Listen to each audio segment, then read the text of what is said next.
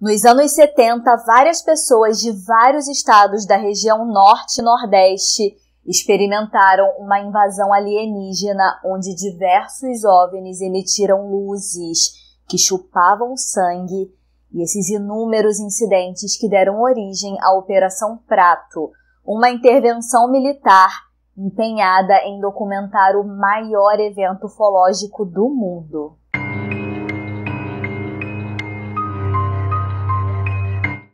Sejam bem-vindos ao Sempre Halloween. Eu sou a Monique e hoje eu trago a parte 1 do vídeo sobre esse caso ufológico impressionante. Nessa primeira parte eu vou relatar as experiências de diversas pessoas com os ataques que ficaram amplamente conhecidos como chupa-chupa.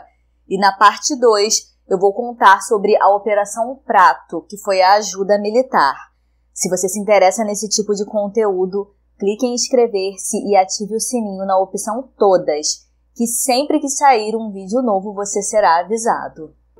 Na cidade de Pacajus, no Ceará, em 1975, algumas mulheres, em geral lavadeiras, passaram a ser atacadas por estranhos objetos voadores às margens dos açudes. Felizmente, os casos não contaram com óbitos.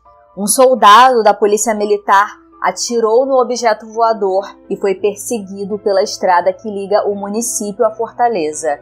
Após um tempo, o UFO, que tinha várias luzes que piscavam freneticamente, se apagou e foi embora sem ruídos. Naquela mesma noite, nas proximidades de onde o soldado havia visto a nave, um motorista de táxi alegou ter sido perseguido por um OVNI. Esses eventos aconteceram dois anos antes do pânico generalizado. O primeiro incidente mais grave aconteceu na Ilha dos Caranguejos. Esse seria apenas o primeiro de muitos. A Ilha dos Caranguejos fica no estado do Maranhão. No entanto, em uma época anterior à internet, com o isolamento da região, a maioria dos relatos permaneceu local. Um deles aconteceu em 26 de abril de 77, quando quatro pescadores, Firmino, Apolinário, Aureliano Alves e José Souza, foram pescar a bordo de um pequeno barco. O que aconteceu a seguir foi muito estranho. Já era noite e a maré ficou muito baixa, então eles foram dormir para retomar no dia seguinte, eles já estavam acostumados. Houve um lapso de tempo e eles só lembram de acordar às 5 da manhã completamente feridos, queimados, com amnésia, e um deles, José Souza, estava morto.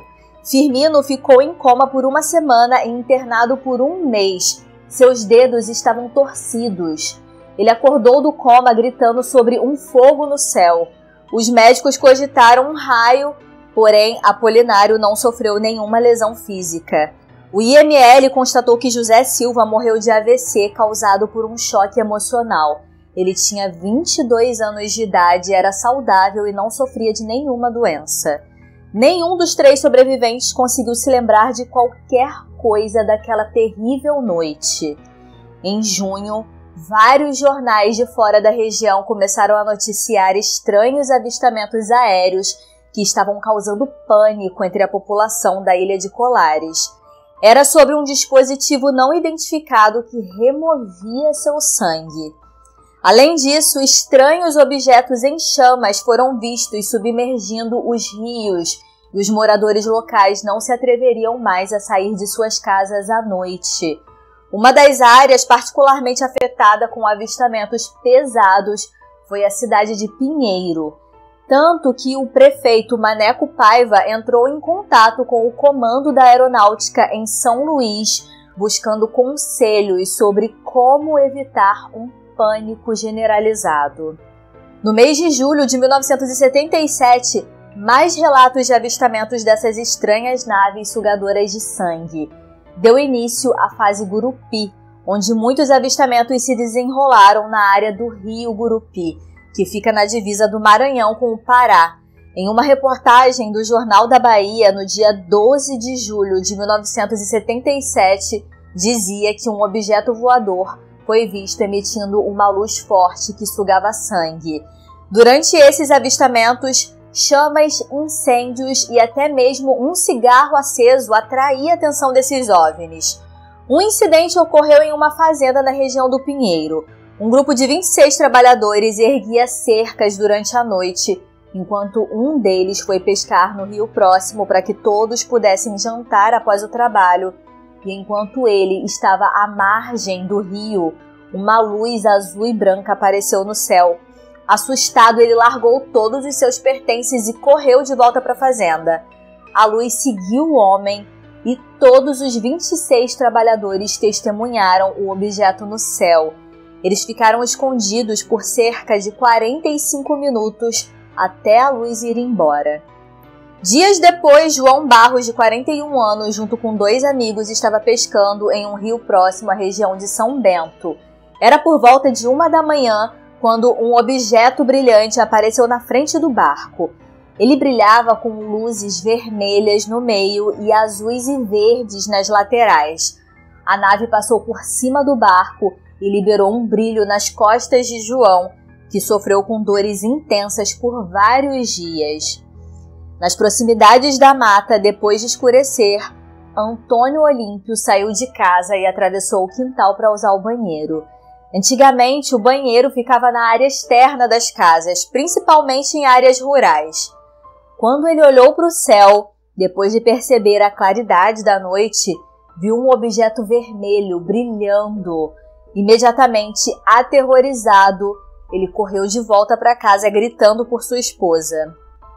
Mas ele foi atingido por uma luz e caiu no chão. Ele teve as costas, braços e pernas queimados com uma queimadura intensa.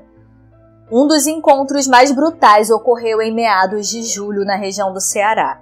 Uma noite, o trabalhador rural Alfredo Marques Soares estava voltando da casa de um amigo nas proximidades quando sentiu uma dor súbita na parte de trás da perna.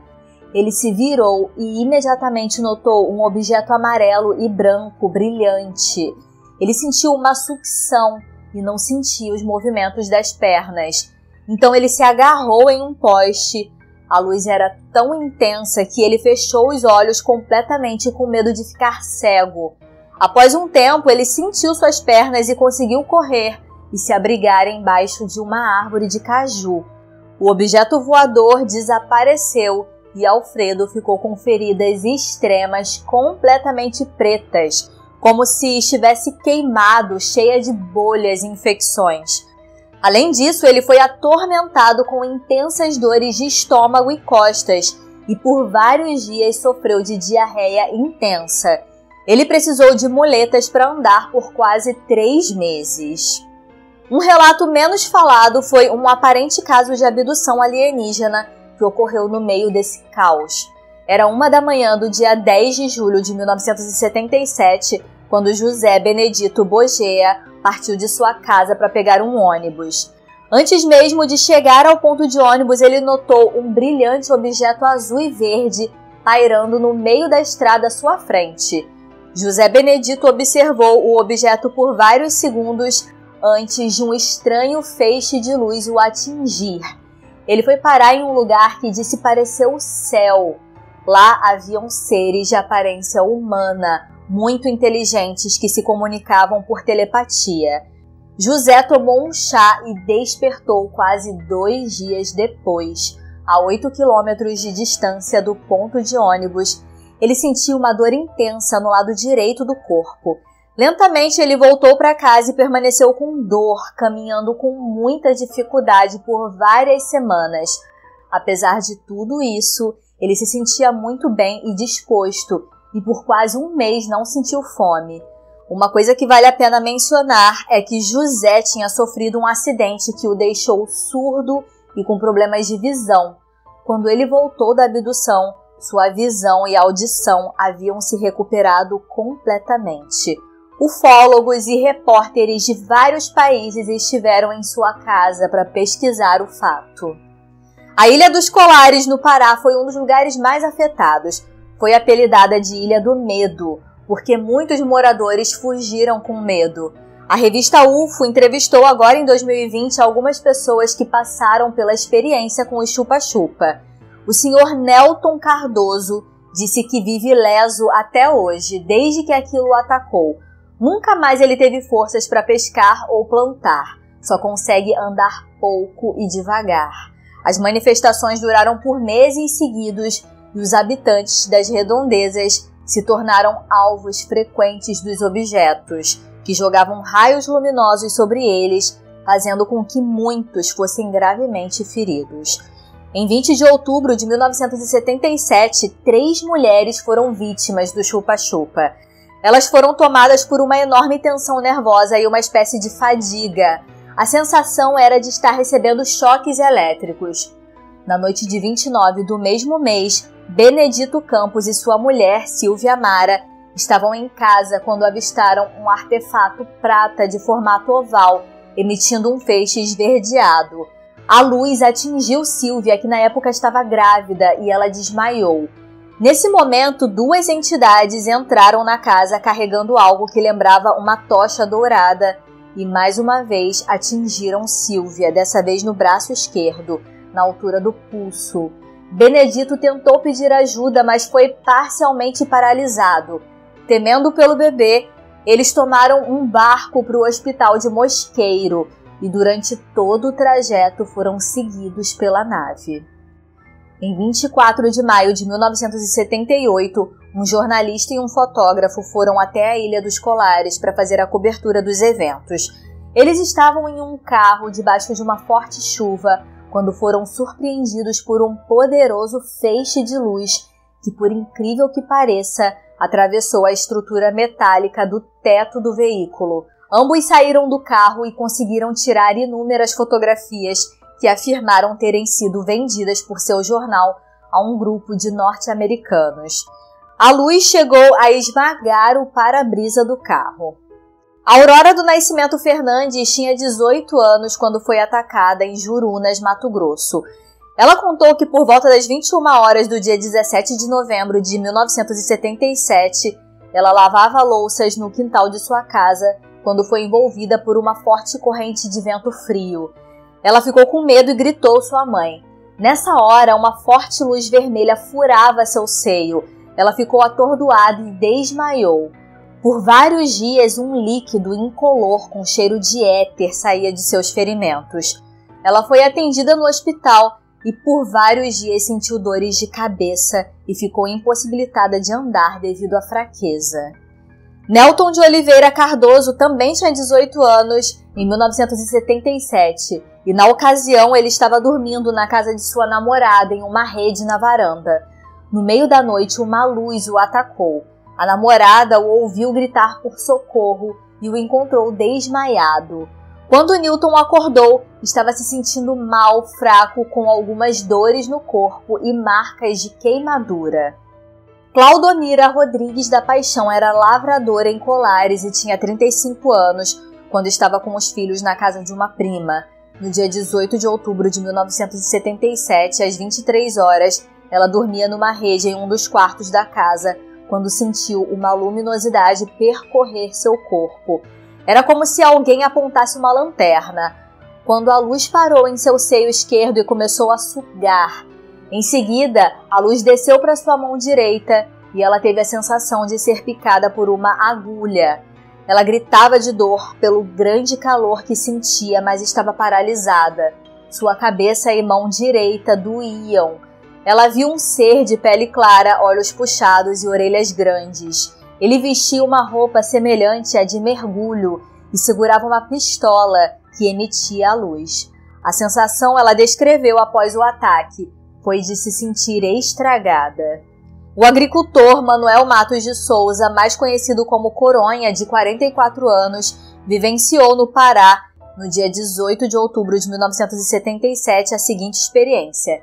Ele estava dormindo, eram mais ou menos duas ou três da madrugada de terça-feira, quando, entre as rachaduras da parede de sua casa, ele viu entrar uma luz muito intensa. Ele abriu a porta e viu um objeto estranho parado a cinco metros mais ou menos. Ele entrou em casa e apanhou a espingarda. Apontou em direção à nave, apertou o gatilho, mas, para sua surpresa, a arma não disparou. Ele começou a sentir dormência pelo corpo e, enquanto isso, o objeto foi se afastando. até sumir do céu. Esses foram apenas alguns casos de ataques. São tantos que daria para fazer uma playlist só com relatos, porque 90% da população das ilhas tiveram experiências. Mais de 400 pessoas tiveram seu sangue sugado e a Operação Prato tem duas mil páginas de relatos desconcertantes. É praticamente impossível mensurar a dimensão desse evento, mas já deu para ter uma ideia. No próximo vídeo eu entrarei na Operação Prato em si, que foi a mobilização da Força Aérea Brasileira para tentar conter esse surto. Se inscreva no canal, muito obrigada por chegar até aqui e eu te encontro no próximo vídeo. Até lá!